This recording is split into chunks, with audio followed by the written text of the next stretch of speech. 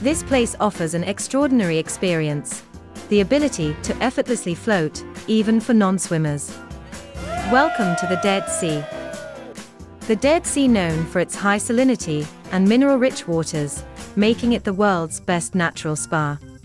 Enjoy a free mud mask for softer skin. Apply, allowing it to set for 10 minutes before rinsing off in the sea. Before departure, grab one as a souvenir. Floating in the Dead Sea is safe for all with safety rules. Don't submerge your head. Keep your eyes closed underwater, and limit swimming to 30 minutes. In case of difficulty returning to shore, call for lifeguards. They will help you like this.